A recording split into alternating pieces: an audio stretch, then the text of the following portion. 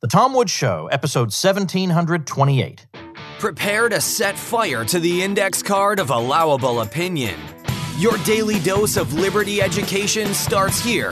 The Tom Woods Show. Folks, if you enjoy the Tom Woods Show, it's time to go to the next level. And next level Tom Woods is libertyclassroom.com. This is where my friends and I teach all the stuff you did not get in your conventional education history, economics, and more the way it ought to be taught with all the content they left out or distorted. Check it out at libertyclassroom.com. Hey, everybody, Tom Woods here. We are covering some history today, and we're going to be talking about the history of the American presidency, at least the first part of a two part series. Second part will be whenever the heck I feel like releasing it. I don't know when, sometime. Stay tuned, but you're going to get plenty of it today. All right, plenty will be covered today. This is actually what I'm playing for you.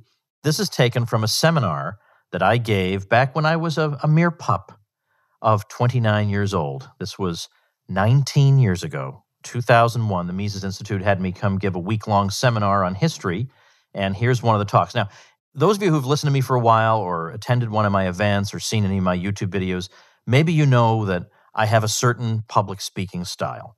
And it's very relaxed and filled with humor and whatever, with a lot of content. I, I don't go up there and just stand there and do some fluff. It's not my style.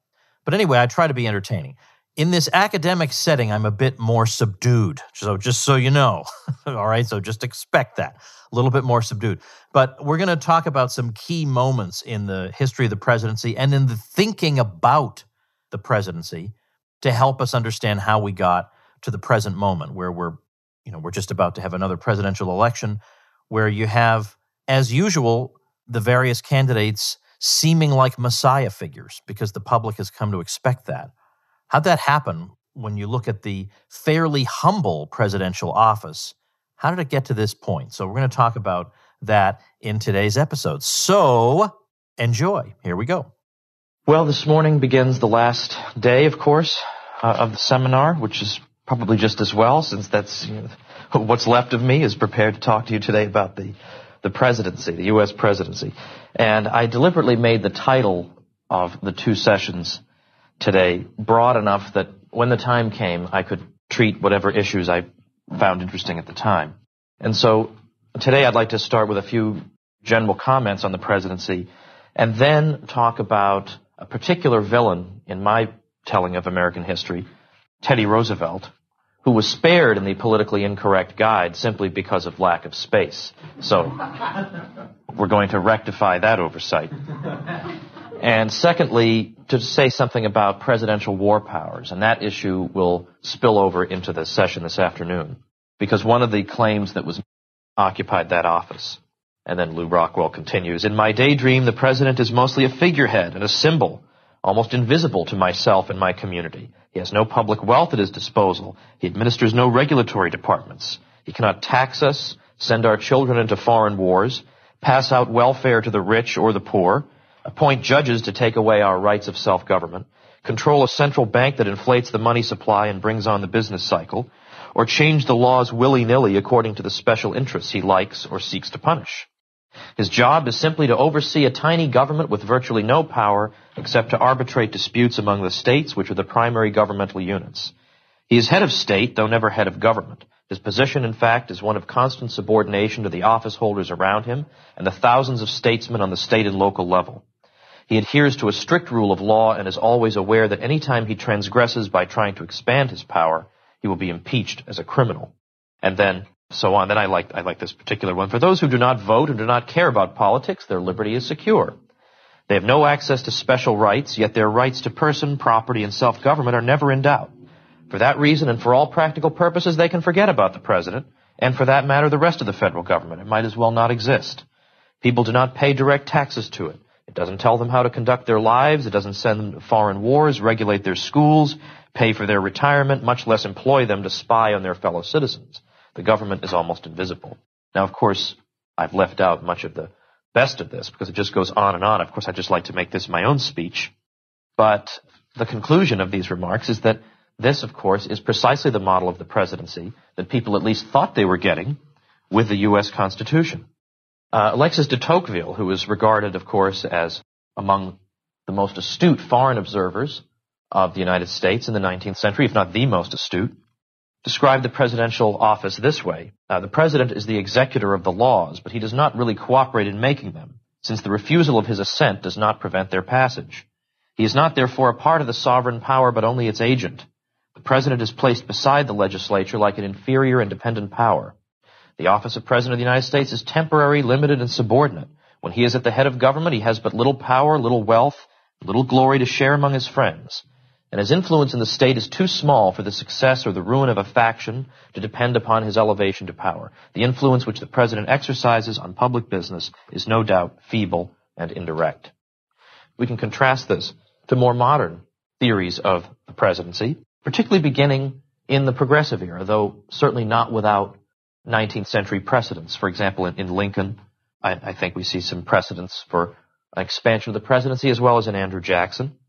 But in looking over one of uh, Lew, Lew, Rockwell's essays, I came across some passages from, from a book by Woodrow Wilson uh, that I'd, I'd, forgotten about, that of course I did want to include in this, uh, that I, I, made reference to several years ago in my when we, when we had the History of Liberty conferences. I, I was quoting Woodrow Wilson, and these are some of the passages or this is at least the uh, the section that I, I use because it's it's fascinating. Woodrow Wilson, who's supposedly so different from Teddy Roosevelt, so different that the election of 1912 was one of the most momentous in American history, in effect gives voice to exactly the philosophy of the presidency as uh, that of Teddy Roosevelt. The big difference, by the way, in 1912, in the election of 1912, was that Theodore Roosevelt wanted to just regulate big business, whereas Woodrow Wilson wanted to break it up into little bits. That's basically the difference between them. The huge, momentous difference between the two. And we're told that um, uh, we have this quotation from Woodrow Wilson in which he said that he himself can't quite see what the difference is between himself, Democrat Woodrow Wilson, and the Republicans at that time, other than the Republicans seemed to be more pro-tariff. Otherwise, he couldn't really see the difference. So already we have the, the, the phony choice. Well, here's Woodrow Wilson speaking about the U.S. presidency. There is something eerie about this. There can be no successful government without leadership or without the intimate, almost instinctive coordination of the organs of life and action. We have grown more and more from generation to generation to look to the president as the unifying force in our complex system. To do so is not inconsistent with the actual provisions of the Constitution. It is only inconsistent with a very mechanical theory of its meaning and intention. We're all just so darn mechanical. The president must be a man who understands his own day and the needs of the country, and who has the personality and the initiative to enforce his views both upon the people and upon Congress. He is the representative of no constituency, but of the whole people. That's a key innovation. The country never feels the zest of action so much as when its president is, is, of such insight and caliber. Its instinct is for unified action, and it craves a single leader. And then finally, let him once win the admiration and confidence of the country, and no other single force can withstand him. No combination of forces will easily overpower him. His position takes the imagination of the country. All right. Well, there you go. I mean, every, but what, how many neoconservatives could object to that? And yet there was a time when conservatives considered Woodrow Wilson to be the great Satan of the 20th century, but I don't see what they would have to object to about him today. That's exactly what they believe. Thomas Jefferson, of course, initiated the practice of delivering his State of the Union address through a written message to Congress rather than appearing in all the, uh, with all the, the ceremony uh, before them. And so the very idea that on a day-to-day basis, we see footage on television of the president playing golf. Oh my goodness, the president is playing golf today. Wonder what his handicap is. Is exactly the opposite of how Jefferson would have thought of presidential office. Now, the progressive era is a period that I, have discussed uh, in the past here at the Institute.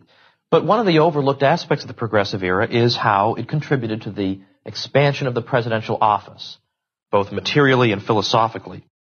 Uh, this is a it's a factor in the progressive era that's not typically mentioned in, in a textbook. The textbooks talk about muckraking journalists and regulatory agencies, and all those things are important. But at least as important is this expansion in the idea, the very idea of the presidency. And one of the people I think is largely responsible for this is, is Teddy Roosevelt. And arguably no president did more to institutionalize the activist presidency than Theodore Roosevelt. Uh, Roosevelt, as you, many of you know, became president after McKinley's assassination in 1901 and served two terms in that office. And he brought with him a thorough and consistent philosophy of the presidency. But yet, even apart from his philosophy of the presidency, we have the fact of Theodore Roosevelt's peculiar and celebrated personality. That personality very much helped to place his imprint on the presidential office. He was someone who needed activity all the time. He needed to be engaged in activity at all times. So I've cited Edward Corwin, who's a, who's a scholar of the presidency, who has spoken of the personalization of the presidency, in which what he means is he's speaking about the way in which the unique character of a particular individual places an indelible imprint and an identifiable imprint on the presidential office. And so, uh, for example, I've noted in the past that Mark Twain, who met the president twice, later described him as, quote, clearly insane. Roosevelt himself in 1884 uh, told a friend that he had a special cowboy suit that he would put on. It had a revolver and a rifle, and that when he had that special cowboy suit on, quote, I feel able to face anything. Uh, he then went on and, you know, when, apparently when he did go down and, and fight in the Spanish-American War in 1898, and he and he he managed to kill a Spaniard. He was just reacting with you know his just a hyster- hysterical glee and joy, which was very much typical of his personality. When he was 20 years old and he had an argument with his girlfriend, uh, he went home and shot and killed his neighbor's dog as, as a response to that. Now, during the 1880s, he had this brief moment where he decided that he was just going to relax for a while. He'd been working very hard, and he wrote to a friend that because he'd been working so hard lately, he was going to just take the next month off and just do not a thing other than write a biography of Oliver Cromwell. Now, a famous quotation attributed to one of his sons is that, quote, father always wanted to be the bride at every wedding and the corpse at every funeral. so a presidential historian has summed up this aspect of Roosevelt. As no president in memory, and probably none up to that time, TR became a personality, a politician whose every action seemed newsworthy and exciting. His family, his friends, his guests, his large teeth, his thick glasses, his big game hunting, and his horseback riding, all were sources of media attention and delight. In a way that Washington and Lincoln had not done, and even Jackson avoided, TR became a very visible tribune of the people, a popular advocate whose personality seemed immediate, direct, and committed to their personal service. Now, when I say that he's someone who needs constant activity, it shouldn't be surprising, therefore, that when he becomes president, he wants to involve himself as president in even the tiniest affairs of the nation. So I've spoken in the past of a conference that was held in uh, 1903 at the White House over the question of excessively rough play in college football and what could the president help to do about this. Now, of course, on the face of it, it's fairly well absurd that the U.S. president would need to intervene here and that the normal channels of civil society couldn't take care of this terrible crisis uh, on their own. But this is, a, this is, I think, a foreshadowing of the future, where, where the president seems to be, of course, involved in every in, in everything, and no one even bats an eye about this. If there's something unusual or bizarre or flagrantly unnecessary about it. Now, what exactly uh, what exactly is Roosevelt's uh, Roosevelt's philosophy of the presidency? Well, I identify three planks to it. The first plank is one that in effect he shares with Andrew Jackson. This is a theory that Andrew Jackson had put forward and that you can read in Woodrow Wilson's pre-presidential writings as well, is that the president, by virtue of having been elected by the nation as a whole, possesses a unique claim to be the representative of the entire American people in the aggregate. So unlike congressmen, who of course are elected only by their own districts, or senate, senators elected by their uh, people of their states, the president is elected by the whole people. So he has this special claim, he argues. Now this is a claim that Andrew Jackson had tried to make, but at that time there were people like John C. Calhoun who argued that, of course, there, in effect, there is no such thing in the original understanding as an American people. There's the people of Massachusetts, people of Vermont, the people of the states. And so the idea that there was one figure, figure who represented the will of this single American people collapsed into a single aggregate was utterly foreign to the American constitutional order. But the president now, under, uh, uh beginning with this philosophy of TR, draws conclusions from this. If I am the unique representative of the American people, then it's my responsibility to see that their will is put into effect. And so I therefore, in effect, have a moral and sort of quasi-legal ability to override whatever obstacle uh, should appear in my path, even if that should be a congressional obstacle. I will override that because after all, I have to vindicate the will of the people. The second plank that you notice about Franklin, uh, about uh, Franklin Roosevelt, there's a slip, but you know, tomato, tomato, I suppose. Um, the second plank is his view that the president, in effect, can do anything that the needs of the nation demanded. Those are his uh, words, unless it is prohibited in the Constitution. Now, the the older way of looking at things is that you can do things if they're stated in the Constitution, but you can only do them if they're stated. Now we have this view that you can do them as long as it's not stated that you can't. Well, of course, obviously there are infinite things that are, are not stated in the Constitution. I mean, no one would say you, know, you can't, you know, run a house of ill repute out of the White House is not in the Constitution, but it would be sort of presumed. But according to, to TR, the president can do anything the nation demanded unless it's prohibited by the Constitution. And he said himself, under this interpretation of executive power, I did and caused to be done many things not previously done. I did not usurp power, but I did greatly broaden the use of executive power. Uh, he said on another uh, another occasion, he said, "In the United States, this is, this is a comment he made privately, as in any nation which amounts to anything, those in the end must govern who are willing actually to do the work of governing. And insofar as the Senate becomes a merely obstructionist body, it will run the risk of seeing its power pass into other hands." Hmm. Which, which hands are those? I, I wonder. Well, the third plank involves the use of executive orders. And I should pause here for a moment because this, this reminds me of a more recent example. If you ask conservatives today what their opinion of Teddy Roosevelt is, it's usually quite positive. You know, they like him, and you know, there are some aspects of him that are kind of cute and admirable, I suppose. I mean, he would make funny comments about not being a globalist, and anyone who thinks other countries are as good as his own, or like people who say that other women are they love as much as their own wife, and ha ha ha, that's cute and everything. But but the thing is that I'm arguing that that TR has you know did a tremendous amount of damage to the country. It's not at all obvious why a conservative would like him, other than the fact that he wasn't a sort of mamby-pamby, modern-day, you know, girly man. And so we naturally respect anybody who just is in any way virile. I guess that may be what they admire in him. But the one way that you can get through to conservatives on this issue is through the Bill Clinton angle. Because Bill Clinton has got this, you know, this, there's still Bill Clinton books coming out, people buying him like mad. I mean, he's been out of office for years, he's still getting attacked. Well, Bill Clinton was once asked, who is your favorite Republican president throughout all of American history? Who's your favorite Republican president? He said Theodore Roosevelt. So now you use that when you pull that out and say, hey, come on now, Bill Clinton likes him. Then they'll have to say, oh my gosh, I, my whole worldview is collapsing. My brain is just smoke's coming out of my ears. I, I can't compute this.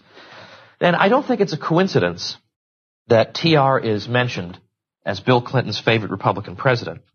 And the third plank of his presidential philosophy involves the use of executive orders. Because it was Bill Clinton's aide, Paul Begala, when speaking of presidential uh, executive orders, actually said in the 1990s, stroke of the pen, law of the land, kind of cool. Yeah, kind of unconstitutional, not that you would care. well, Theodore Roosevelt was in fact a figure who he wasn't the first person to issue executive orders, but he issued them in numbers that were substantially greater than those uh, who preceded him. Now, an executive order just simply means that it's a, it's a presidential measure that's taken by the president himself by virtue of his executive authority, which he does, which he undertakes without consulting Congress or feeling a need to consult Congress. Now there are uses of executive orders that would be unobjectionable from any standpoint. For example, George Washington, when he took office as president, requested that the outgoing government prepare a report on the state of the country. And he did that by, in effect, executive order. I mean, nobody really has a moral problem with that or after the war between the states, uh, or in other situations, the president can issue presidential pardons And he can do that by virtue of his own executive authority. So there are certain things that the president can do by means of an executive order that really are basically unobjectionable. The problem becomes that the, the, the, possibility that, that executive orders can be abused. What if the president uses an executive order to carry out something that clearly lay within the province of Congress? What if he becomes a lawmaker in and of just just by himself by virtue of just signing executive orders? This obviously disrupts the normal constitutional process. This is a, a usurpation of power. It violates the original understanding. And in fact, as, early as the 1790s, we already see controversy about what they, they wouldn't have used the term executive orders, but we already see controversy emerging over the president's use of his executive power when George Washington declared the United States neutral in 1793 in the wars of the French Revolution. Now that seems harmless enough and uh, perhaps even a wise policy, but the point was that the Congress argued that the president in and of himself does not have the authority to declare neutrality. The Congress would declare neutrality, which they, in fact, they retroactively gave their assent to what Washington had done by themselves going on and declaring neutrality. But even there, there was already enough vigilance that people were concerned that this was an abuse of presidential power. And when I get into presidential war powers, I want to return to that issue. Uh, so, so already there was some controversy. Uh, well, to appreciate the extent to which Theodore Roosevelt transforms the presidential office, we need to look at his use of executive orders. And it shouldn't come as a surprise to us that he should want to use them, because here's his governing style in a nutshell. My will be done. But of course, my will is the people's will. Don't ever forget that. It's the people's will. Well, consider the numbers. Now, there's a, I, I cite in my, my book in the bibliography, there's a citation to a Cato Institute study on the use of executive orders, and yet in the book, there's no reference to executive orders really, or hardly any. Uh, and that's because the bibliography was done before we had to start cutting material for space reasons. So there are articles and books in there that have no connection to anything in the whole book. And so this article, the you can find the citation in there, but there's not a word about it in the, in the book. It's in the, it's in the, the hacked chapter. Well, when you look at the number of executive orders issued by Theodore Roosevelt's predecessors and then by the man himself. President Hayes issued no executive orders. Likewise for President Garfield, although he wasn't you know, really alive long enough to issue many executive orders, but Chester A. Arthur issued three executive orders. Six for Grover Cleveland in his first term, four for Benjamin Harrison. Second term, Cleveland issued 71. McKinley issued 51. Theodore Roosevelt issued 1006. Now, alright, so he did serve nearly two terms, but nevertheless, what we're seeing here is not merely a quantitative difference, but a qualitative shift in the functioning of the executive office. Now, I've often given as an example of President Roosevelt's use of executive power what he did in the Dominican Republic in early 1905. And the other day I was looking through Edmund Morris's book on, or most recent volume on Theodore Roosevelt called Theodore Rex. And it's basically got every little detail of this guy's life. I mean, my gosh. And then, you know, his shoe got a tear in it and he decided to get a new one. And it's incredible, like, why we would, I mean, that, and it's the fact that we would write that detailed a book is itself a reflection of this deification of the, of the, the president. It's incredibly disturbing and eerie, as I say. But in that book, there's not, I mean, it's a, he's got all the time in the world to tell you about every haircut the guy got, you know, whatever. But nothing, not a word, not a sentence, nothing about this. Yes, there is mention of Theodore Roosevelt and the Dominican Republic, but nothing about how he did what he did. The, the, the nutshell story goes as follows. In late 1904, Roosevelt, in effect, uh, laid out what he called the Roosevelt Car, what was, became known as the Roosevelt Corollary to the Monroe Doctrine. The Monroe Doctrine from 1833 had made clear that while the United States was not going to inter- intervene in European affairs, it expected European powers to reciprocate and that European powers should not intervene in our hemisphere because this was this would be considered a security risk to the U.S. if there were European colonization going on in the Americas. Well, what Theodore Roosevelt did with his corollary was to say, well, if it seems as if there's going to be European intervention in our hemisphere, then the United States will intervene first so as to forestall the European intervention. And so this, this doctrine is first instantiated in the case of the Dominican Republic in early 1905, because in the Dominican Republic, they were in debt up to their ears, and there was concern on the part of, of uh, Roosevelt that at least one European power may use force and intervene in the Dominican Republic for the sake of the collection of debts. So TR came up with the idea that the United States should intervene in the Dominican Republic and run the customs houses and in effect take some of the customs money and, and use it for domestic purposes in the Dominican Republic, but take a fixed amount and apply it to debt repayment so as to reassure European creditors that, uh, you know, their debts, you know, would in fact be repaid. Well, he, of course, is, is going to want to establish a treaty to this effect with the Dominican Republic. But you can't establish a treaty as president. You can't establish a treaty just on your own, you know, ipse dixit. It has to be done with the, with, uh, you know, the Senate has to, uh, has to approve it.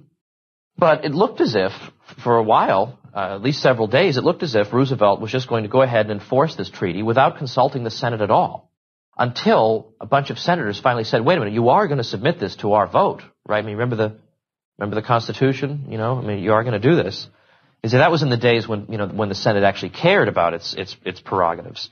And so finally, you know, very frustrated, Roosevelt, okay, fine. You know, go ahead and vote on it if you feel you must. But it's interesting that it's quite clear that he had not originally intended the Senate to have any voice in this because it was set to take effect like about 11 days after they signed it. Just, I mean, no, needless to say, nowhere near enough time uh, for there to be debate, discussion, everybody to read it, whatever. But finally, the Senate did force his hand, and so he submitted it to them. Well, the Senate ended up adjourning without taking any action at all on the matter. And so what did Theodore Roosevelt do? Well, he's frustrated by the Senate's inaction. So he simply declares that, all right, well, maybe you're right. It is a treaty. And so, you know, I can't just impose a treaty on both countries without the consent of the Senate. I haven't gotten the consent of the Senate, so I just won't call it a treaty. I'll call it an executive agreement. And that the authority to enact it just develops, comes right out of my inherent executive powers. And that's what he did.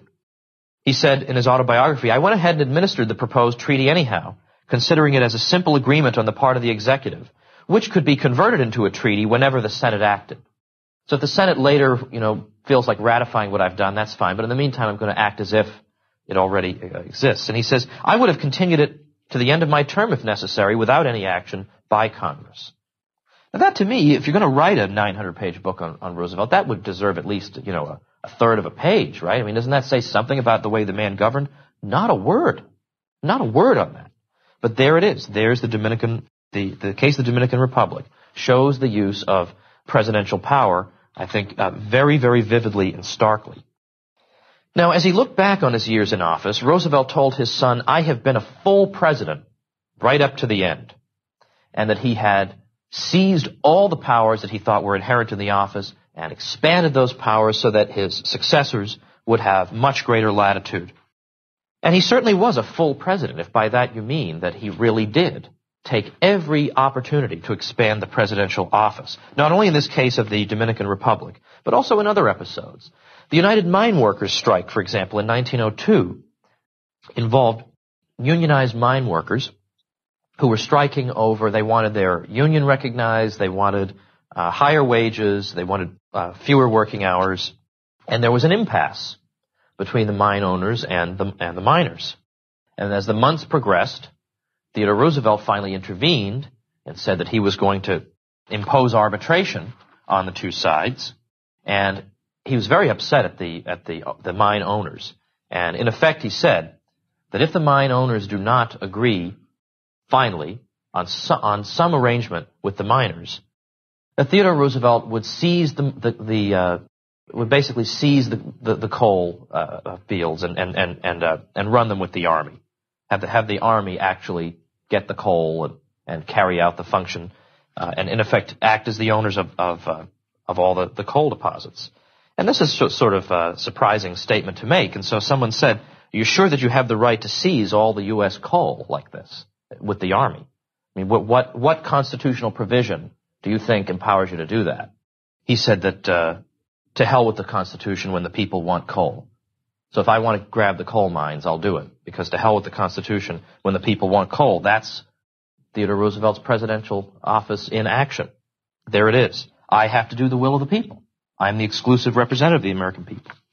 Now, an often forgotten episode in, in Theodore Roosevelt's presidency again illustrates something about the nature of the man and what he was doing to the office. And that's something called the Perdicaris affair, which took place in 1904 as the Republican convention was set to renominate uh, Theodore Roosevelt for a second term. Well, it involved a gentleman named Perdicaris who apparently the situation was that uh, he he was he was being held captive in uh, oh gosh, I, I, was it Tripoli? I can't. It was in in North Africa. He's being held captive, and supposedly he was an American citizen being held captive by a foreign government. So Theodore Roosevelt comes out at the convention and he gets everybody riled up by by making a a very, very belligerent speech about the need to go get this man back and we'll do whatever we have to do and, and, you know, if we have to kill the leaders over there, we'll do it. Everybody's thrilled. Well, it so happens that there are two factors that TR was not mentioning in his speech. Number one, Perdicaris was not an American citizen. He was a Greek citizen. He, he had taken Greek citizenship for business reasons. Secondly, arrangements had already been made to free him at the time of Roosevelt's speech. And Roosevelt knew both of these facts, and yet nevertheless went ahead and did that, whipping the country into a jingoistic frenzy. Hmm. Well, very significant. Okay, very significant. There's, there's a little bit of an overview of Theodore Roosevelt. I think we can see the significance of that.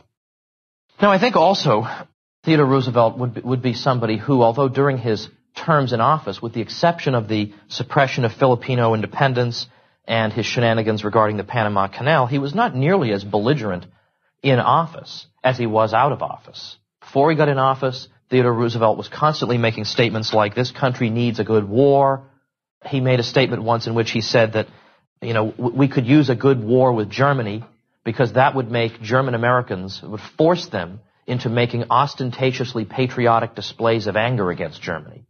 And plus, if New York and a few of our other cities on the, if cities on the coast like Boston or others were just, were burned to the ground by a foreign invader, well that would be a good object lesson to the American people uh, in the need for a good system of coast defenses. I mean, he actually did say that. These are kind of odd statements.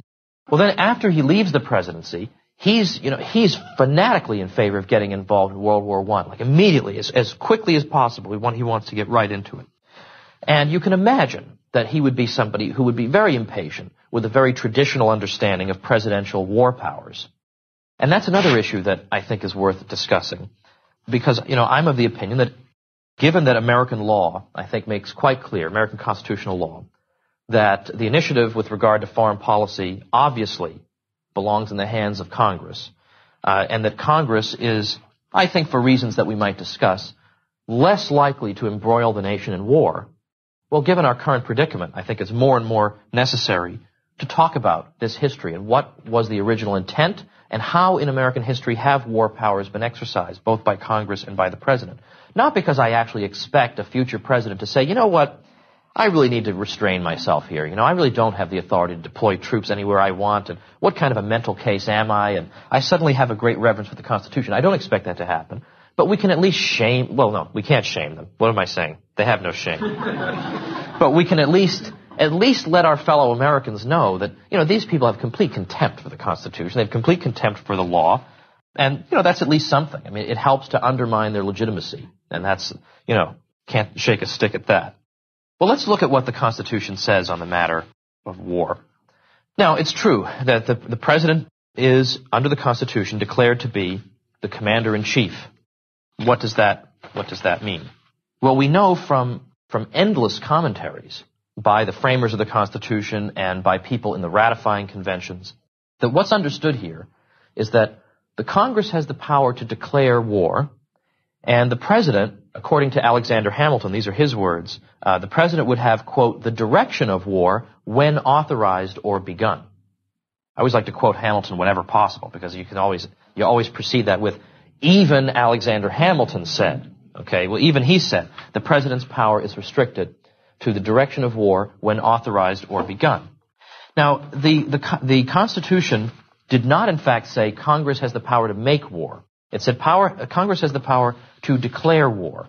And the difference was understood to mean this, that the president was in fact empowered to repel sudden invasions of the United States. And that would be very different from you know, Iran nationalized an American company, therefore the president has to go to war with them. That's not exactly a full-scale assault on the American, on American soil.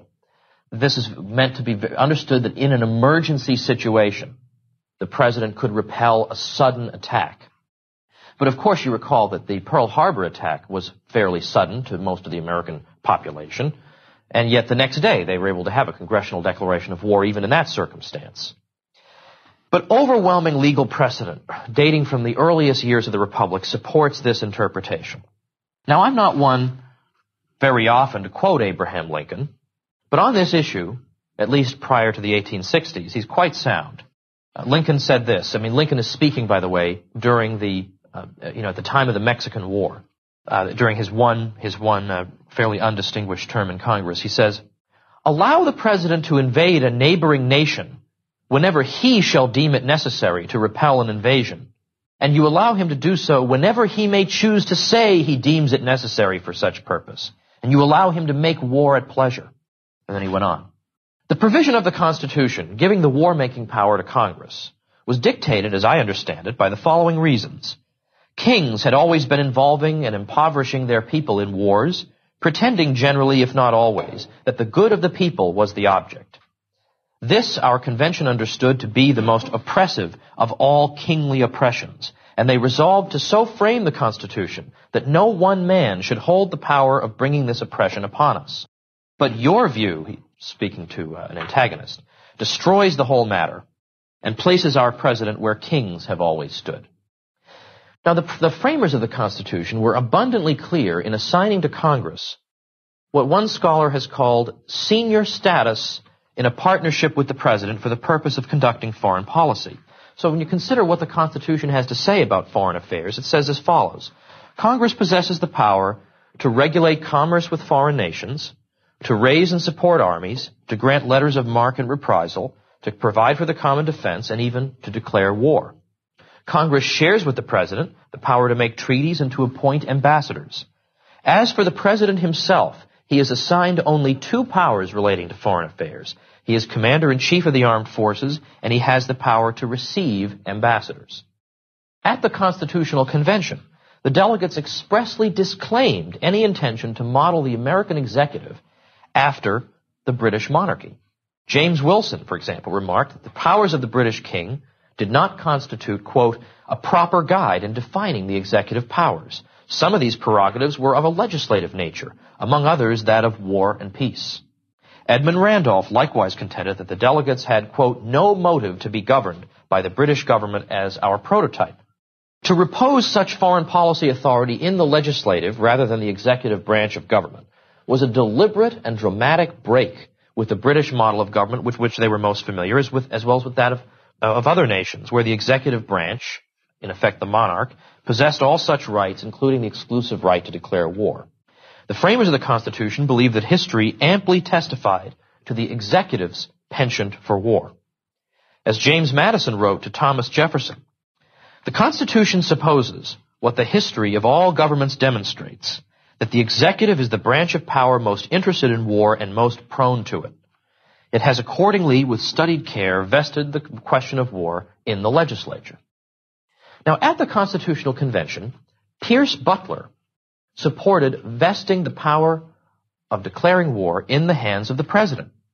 Well, that opinion stunned uh, the other delegates, particularly Elbridge Gerry, who said, quote, he never expected to hear in a republic a motion to empower the executive alone to declare war. Not only was there no support for Butler's position, there wasn't even a second. No one even seconded it when he proposed that this power should be held by the president. At the Pennsylvania ratifying convention, James Wilson said this, this system will not hurry us into war. It is calculated to guard against it. It will not be in the power of a single man or a single body of men to involve us in such distress for the important power of declaring war is vested in the legislature at large. This declaration must be made with the concurrence of the House of Representatives. From this circumstance, we may draw a certain conclusion that nothing but our interest can draw us into war. By the way, I should mention that uh, a book by Louis, uh, Louis Fisher called uh, Presidential War Power is the indispensable single book on this if you're going to read only one. Now, Alexander Hamilton, or shall I say, even Alexander Hamilton, says in Federalist number 69 that the president's authority, quote, would be nominally the same with that of the King of Great Britain, but in substance much inferior to it. It would amount to nothing more than the supreme command and direction of the military and naval forces, as first general and admiral of the Confederacy, while that of the British king extends to the declaring of war and to the raising and regulating of fleets and armies, all which by the Constitution under consideration would appertain to the legislature. John Bassett Moore was a great scholar of international law, who briefly served as Assistant Secretary of State and later as a professor at Columbia University. He was a prolific author who was also the first American judge at the World Court, and he said this, there can hardly be room for doubt that the framers of the Constitution, when they vested in Congress the power to declare war, never imagined that they were leaving it to the executive to use the military and naval forces of the United States all over the world for the purpose of actually coercing other nations, occupying their territory, and killing their soldiers and citizens, all according to his own notions of the fitness of things, as long as he refrained from calling his action war or persisted in calling it peace. Now, in the history of the early republic, the intentions of the framers in this regard were by and large respected. For example, George Washington, in his operations on his own authority against various Indian tribes, he confined himself to defensive measures only and understood that the permission of Congress would be necessary for any further action. And Washington himself said, the Constitution vests the power of declaring war with Congress, Therefore, no offensive expedition of importance can be undertaken until after they have deliberated upon the subject and authorized such a measure. Now, I think it was probably with both the Korean War, starting in 1950, and then the, the Vietnam War as it heated up in the 1960s, that we began to hear an alternative conception, or we began to hear that uh, this is much too strict a reading. What I've, what I've told you is much too strict a reading of the historical record, and that in fact, historically, the presidents have been much more flexible. And so, for example, the State Department in 1966, you know, an, an impartial body, you know, that could be counted on to give us a, a, a dispassionate overview of this matter, said, since the Constitution was adopted, there have been at least 125 instances in which the President has ordered the armed forces to take action or maintain positions abroad without obtaining prior congressional authorization, starting with the undeclared war with France, 1798 to 1800. Well, we'll have time later, probably this afternoon, to get into this. So this 125 instances, that 125 instances in, in more recently has turned into hundreds of instances. Um, as I say, there was one particular critic of mine who used the phrase hundreds of instances. It's sort of like the number of people that the atomic bombings of Hiroshima and Nagasaki allegedly uh, saved. So first, you know, you have estimates of 46,000, and then later, uh, President George H.W. Uh, Bush was saying that millions of lives had been saved by that. I mean, what that he just said that with no no support for it at all. And so eventually we start to get this claim there are hundreds and hundreds of episodes. Well, I'm going to try to go through in chronological order, and in particular, I use this quotation right here because it makes specific mention of the quasi-war with France. And it says that, you know, this was done without uh, prior congressional authorization. That's just not true at all. There was a congressional statute after statute after statute authorizing Adams to do what he did uh, in, in, you know, outfitting ships and in, in engaging in this, and Adams was simply following those statutes. An interesting quotation from that comes even from Alexander Hamilton comes in late April 1978, uh, pardon me, 1798 when Congress passed a law increasing the size of the Navy. And the Secretary of War, who seemed to favor war, asked Alexander Hamilton, Did you think, do you think this legislation authorizes the President to initiate hostilities? And Hamilton replied by saying this, Not having seen the law which provides the naval armament, I cannot tell whether it gives any new power to the President. That is, any power whatever with regard to the employment of the ships.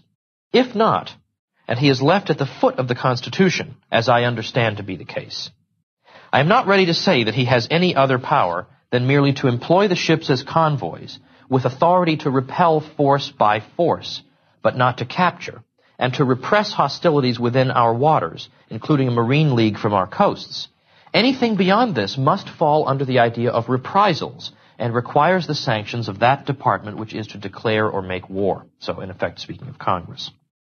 In the wake of the quasi-war, the Supreme Court ruled that under the Constitution, the Congress could declare war, because of course it says that Congress can declare war.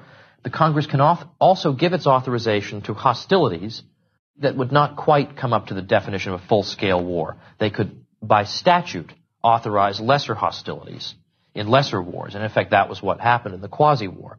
But here's something interesting that occurred during the quasi-war. Congress at one point authorized the president to seize vessels that were sailing to French ports. But Adams, without consulting the Congress and entirely on his own authority, began to instruct American ship captains to capture vessels that were sailing to or from French ports. And so we had this interesting case of a Captain George Little who obeyed the president and in fact seized a ship that was sailing from a French port. Uh, it was a Danish ship sailing, sailing from a French port and he was, he was sued for damages and eventually the case made its way to the Supreme Court. And there, John Marshall, who over time flip-flopped on this issue. I'm sorry, I hate that term. Sorry, forget that. Forget I said that. But John Marshall, John Marshall ruled that Captain George Little could be sued for damages because he should not have followed a command of the president that was not authorized by congressional statute. John Marshall says, I acquiesce in the opinion of my brethren, which is that the instructions by President Adams cannot change the nature of the transaction or legalize an act which, without those instructions, would have been a plain trespass. Now, Congress later reimbursed Captain Little for, because he'd had to pay damages. They reimbursed him for it, in effect saying, well, he was just obeying orders. But as Fisher points out, this means that congressional policy announced in a statute necessarily prevails over inconsistent presidential orders and military actions. Presidential orders, even those issues, issued as commander-in-chief, are subject to restrictions imposed by Congress. Now, then we have George Washington. I'm backing up a little bit. I, I mentioned uh, earlier on that there was a little bit of a controversy when George Washington issued his proclamation of neutrality because he had no statutory or constitutional authority to issue a proclamation of, of neutrality. And even though it seems innocuous enough, there was a concern about the separation of powers.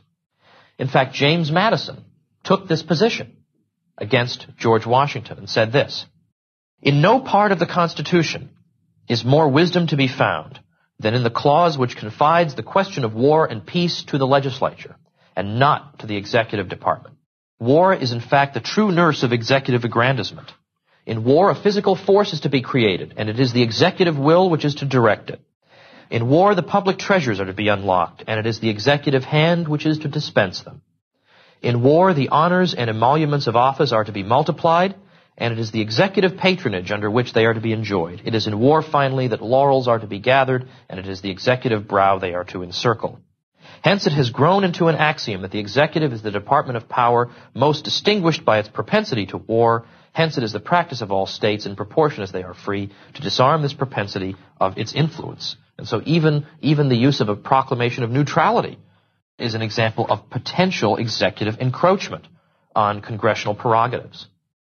Well, here we have yet another exa- uh, interesting example. I think that George Little example is quite revealing. But we have another example. We have an example of an American who disregarded George Washington's proclamation of neutrality, uh, and in fact violated the proclamation. Because I mean, there were there were Americans who in the 1790s were you know were capturing ships and whatever.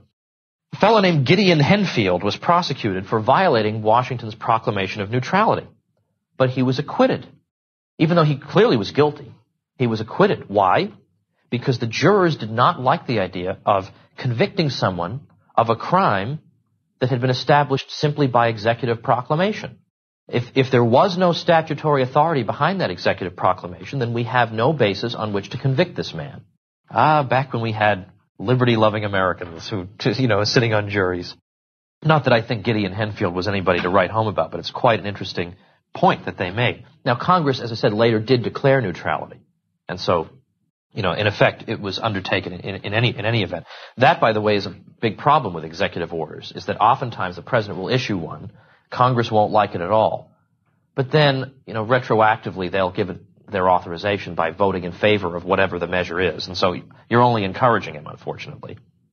Now, what we hear, I think, the most common case that we hear in early American history of a president who is in fact involving the country in war in the absence of congressional authorization to do so, involves Thomas Jefferson and his activity with regard to the Barbary pirates. And just a little uh, background here. Uh, the, the Barbary states of North Africa were, in effect, engaged in piracy for a very long time. And so if you, if you had ships sailing the Mediterranean, you would in effect have to bribe them into leaving your shipping alone. Now, during the colonial period, the British government paid the bribes on, on behalf of Americans. In the early republic, very early, George Washington just paid the bribes. John Adams just paid the bribes. Well, then you get to the early 1800s. Jefferson is not terribly enthusiastic about paying the bribes. And by late 1801, uh, some of the Barbary pirates are in fact increasing the, uh, the, the amount of the bribe that would be necessary, and eventually they actually declare war on the United States. Well, immediately, bef- immediately prior to Jefferson's inauguration, Congress had passed legislation that, among other things, provided for six frigates that, to, to quote the, the legislation, shall be officered and manned as the President of the United States may direct. And so when Jefferson sent American ships to the Mediterranean, he was appealing to this. He said, well, they, these ships shall be officered and manned as I may direct. Now, uh, Jefferson, so he sends, he sends a small force to the, to the area, uh, to the Mediterranean to protect against any possible aggression on American ships and citizens. But, but Jefferson, and we can, we can agree or disagree with that position, but it's interesting to note what Jefferson says here to show that this incident cannot be used to show that there's a general power for the president to initiate uh, offensive military action on his own whim. Jefferson said that he was, quote, unauthorized by the Constitution without the sanction of Congress to go beyond the line of defense. He said that Congress alone could authorize, quote, measures of offense also. And so Jefferson went to Congress and said, I communicate all material information on this subject, that in the exercise of this important function confided by the Constitution to the legislature exclusively, their judgment may form itself on a knowledge and consideration of every circumstance of weight. Now Fisher points out that the Justice Department very often has made reports and in congressional debate issued statements to the effect that Jefferson in fact uh, just again behaved entirely on his own uh, without really any regard for congressional authority. But Fisher says, in fact, in at least 10 statutes, Congress explicitly authorized military action by Presidents Jefferson and Madison. Congress passed legislation in 1802 to authorize the President to equip armed vessels to protect commerce and seamen in the Atlantic, the Mediterranean, and adjoining seas. The statute authorized American ships to seize vessels belonging to the Bey of Tripoli, with the captured property distributed to those who brought the vessels into port. Additional legislation in 1804 gave explicit support for, quote, warlike operations against the regency of Tripoli or any other of the Barbary powers, unquote. Now understand the purpose of my bringing this up. It's not to say this is a wonderful decision, it should have been done, but simply to say that in no way can you extrapolate from this to some general ability of the president to deploy American forces anywhere in the world for any purpose. Jefferson, by modern standards, was positively timid uh, in, in, his, in his behavior. In fact, late the next year, in, in late 1805, there had uh, emerged a dispute with Spain regarding the boundaries of Louisiana and Florida. And Jefferson went to Congress and reported on that and said that uh, it was his opinion that Spain uh, revealed, quote, an intention to advance on our possessions until they shall be repressed by an opposing force. Considering that Congress alone is constitutionally invested with the, with the power of changing our condition from peace to war, I have thought it my duty to await their authority for using force. But the course to be pursued will require the command of means which it belongs to Congress exclusively to yield or to deny. To them I communicate every fact material for their information and the documents necessary to enable them to judge for themselves. To their wisdom then I look for the course I am to pursue and will pursue with sincere zeal that which they, they shall approve. Okay, again, this is like another another planet, basically. This, this type of this type of language. A couple of more quick ones before we stop and take some questions, and then I think the really interesting stuff uh, actually comes comes later. I mean, how do we get to the, the present situation?